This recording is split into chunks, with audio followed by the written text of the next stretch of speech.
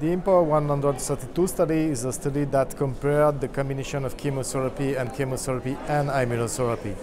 Then the background is that we know that we have in lung cancer an efficacy of the PD-1 and PD-L1 agent with more with three agents that are already uh, uh, registered uh, in this uh, in this field in the second line setting, and we had uh, uh, several studies presented combining chemotherapy and immunotherapy.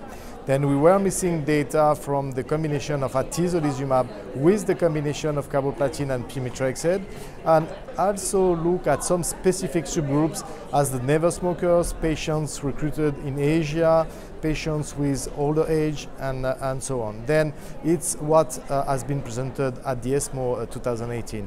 Okay, and how many patients were available in these smaller groups? Then uh, overall 578 patients have been included in the study and uh, the, uh, the proportion of patients recruited in Asia is the largest that we have to date in this type of study, 25% of the patients recruited in the study. For the never smokers patients, it represents 12% of the patients included in the study. And uh, for the patients that uh, uh, were older than 65 years, it represents approximately the half of the patients because the median age was 64 years. And can you talk about some of the results from these individual groups? Then, what was interesting in the IMPOWER 132 trial, we demonstrated an advantage regarding the progression-free survival with an hazard ratio of 0.60. The overall survival, survival data are not yet mature, but there was a numerical advantage with an hazard ratio of 0.81. Then looking at the, uh, the subgroups, what demonstrated all the analysis that have been done is that there was reproducibility of the activity and the superiority of the combination of chemotherapy based on platinum and pemetrexed and atezolizumab over the standard chemotherapy in all subgroups but the patients with liver metastasis at baseline. Then we had an advantage for the combination in never smokers patients with even a slightly better uh, uh hazard ratio of 0.49. Uh, it's a population of interest because we know that those patients may have tumor with less inflammation and less chance to have the immune system uh, uh, uh, working, then it was important to confirm that the benefits was there for these patients.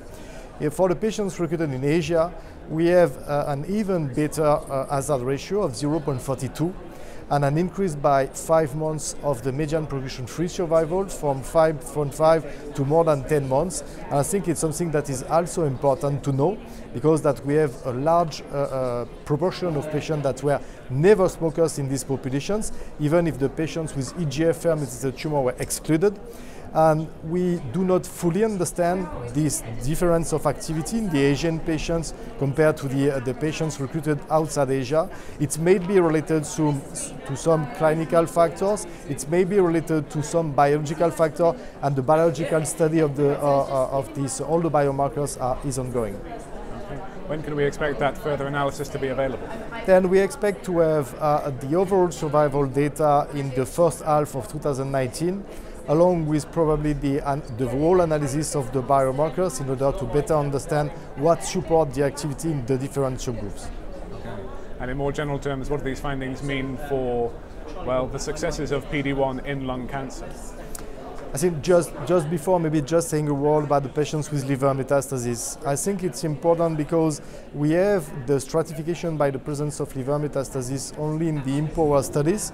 And we have two studies presented today, the IMPOWER 130 and the IMPOWER 132, that show that there was no benefit for the patients with liver metastasis to receive the combination of chemo and immuno.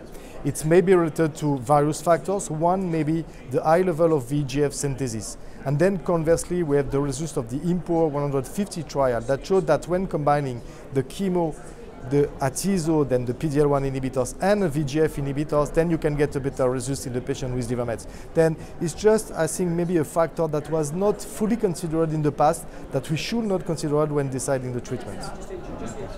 And then on to what this means. And on the, the, the, the PD-L1 inhibition in, in lung cancer, I think we had several studies in the second line setting We have now uh, around 10 studies in the first line setting, either in monotherapy or the combination of IO plus IO or combination of chemo and IO, with more than five positive trials in, uh, with atizo- based on atezolizumab.